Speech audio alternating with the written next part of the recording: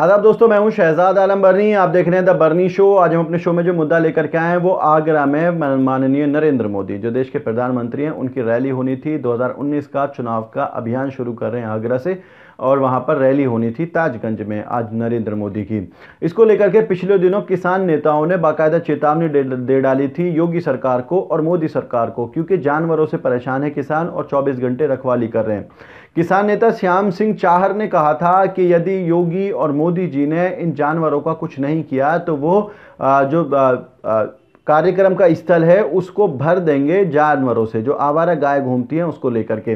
दरअसल पिछले दिनों भी अलीगढ़ में ये मामला उठा था, जहाँ पर 800 गायों को किसान नेताओं ने और किसानों ने इकट्ठा होकर के खूब दौड़ाया और उसके बाद उन्हें प्राइमरी स्कूल में बंद कर दिया गया था और बच्चों को बाहर निकाल दिया गया था।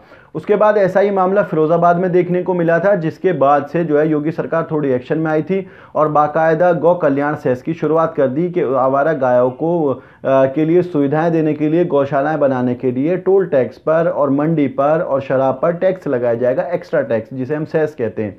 वो लगाया जाएगा ताकि गौ कल्याण सेवा शुरू की जा सके। इस मामले में किसान नेताओं ने पिछले दिनों चेतावनी दे डाली थी। अब आज उनकी रैली होनी थी। योगी जी के साथ साथ मोदी जी को वहाँ पर आगरा में पहुँचना था ताकि 2019 के चुनाव की शुरुआत की जाए। ऐसे में आगरा के फतेहाबाद और आगरा के ताजगंज के गाँव। ताजगंज का गाँव है बुढ़ाना। बुढ़ाना में किसान नेताओं ने गायों को इकट्ठा करना शुरू कर दिया।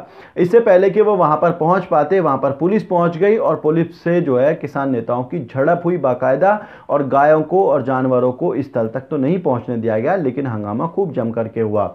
अब सवाल ये उठता है कि क्या वाकई में किसान नेता जो है सिर्फ़ 24 घंटे के चौकीदार बन गए अपने खेतों के, कि वो जानवरों को अपने खेतों से ही बचाते रहें? या कुछ और भी अपनी ज़िंदगी में कर सकते हैं। हालाँकि नरेंद्र मोदी की जो रैली का कार्यक्रम स्थल था, वहाँ तक ये जानवर नहीं पहुँच पाए और किसान नेता भी नहीं पहुँच पाए क्योंकि पुलिस पहले से बहुत सतर्क थी।